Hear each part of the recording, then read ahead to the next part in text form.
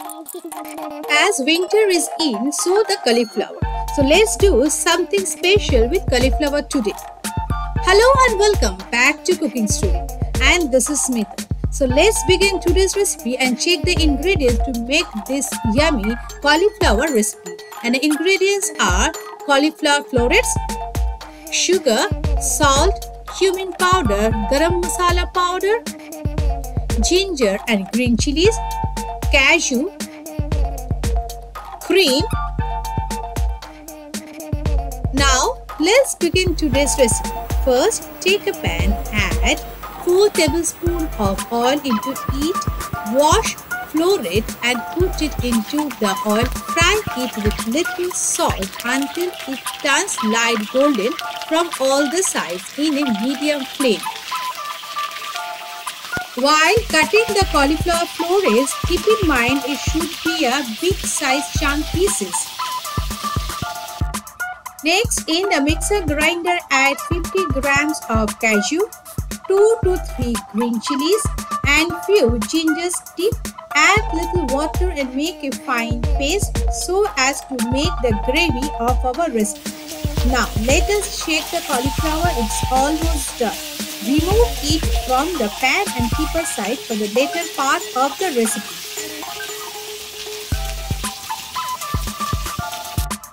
Once you remove the fried floret from the pan into that same oil add 1 4 teaspoon of cumin seed 2 bay leaves and now add the paste which you have done just now once you drop in the paste into that same mixer grinder, add half cup of water, wash it so that nothing go waste.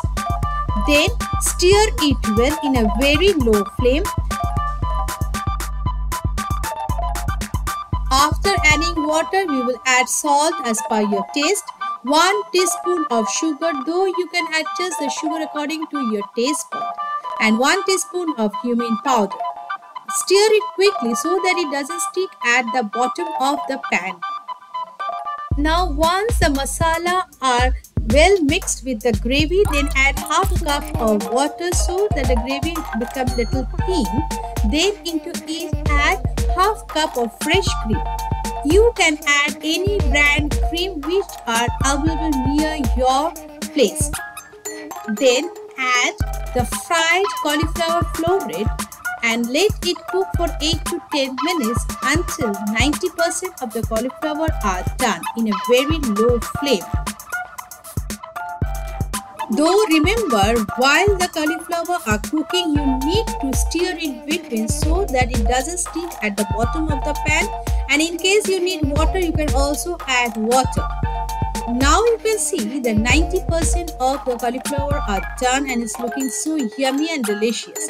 At this point of time, we will add 1 4 teaspoon of garam masala powder and half teaspoon of kasuri methi from above.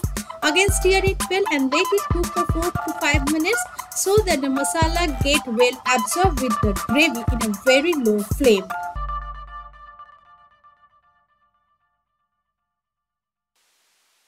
Now this cauliflower recipe is just looking marvelous. At this point of time, put off the flame and serve in a serving bowl and enjoy this with roti or paratha. As cauliflower is one of the vegetables I cook most often throughout the winter and early spring.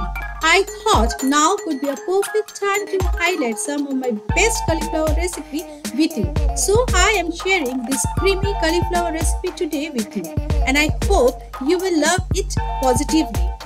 And if you like it, do comment and share it with your friends and family. Don't forget to hit the bell icon so that whenever I upload a new recipe, you get the notification first. And trust me, you are bound to love this cauliflower recipe. To see you again tomorrow with another interesting recipe. Till then, enjoy cooking story. Bye-bye.